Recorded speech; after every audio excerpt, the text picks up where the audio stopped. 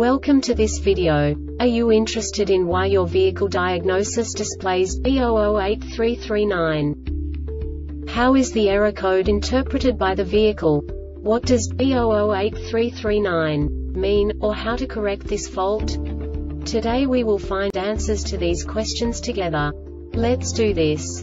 First, let's look at the history of diagnostic fault code composition according to the OBD2 protocol, which is unified for all automakers since 2000. We divide the electric system of automobile into the four basic units. Powertrain, body, chassis, network. This distribution is defined in the first character code.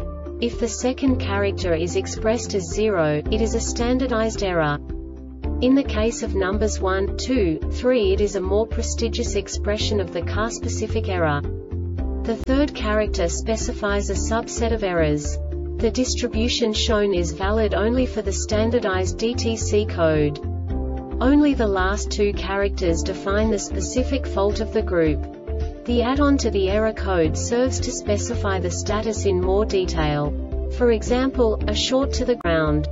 Let's not forget that such a division is valid only if the other character code is expressed by the number 0. Our website airbagreset.sk produces useful videos for you. You do not have to go through the OBD2 protocol anymore to know how to troubleshoot any car breakdown. You will find all the diagnostic codes that can be diagnosed in a Pontiac vehicles. Also many other useful things. The following demonstration will help you look into the world of software for car control units. You unbelievably can move the video a bit further. The error code is split into two bytes consisting of 16 bits.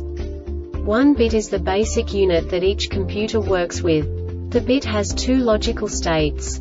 0, low level, 1, high level. By combining the first two bits, the basic character of the error code is expressed. The next two bits again determine the second character. The last beat styles of the first byte define the third character of the code. The second byte is composed of a combination of 8 bits. The first 4 bits determine the fourth character of the code.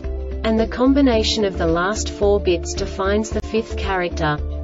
A single byte conceals 256 possible combinations. We now know in what way the diagnostic tool translates the received information into a more comprehensible format. The number itself does not make sense to us if we cannot assign information about it to what it actually expresses. So, what does the diagnostic trouble code B008339 interpret specifically Pontiac car manufacturers? The basic definition is a or T4 to 5 shift solenoid, no 4th or 5th gear 5L40E. And now this is a short description of this DTC code.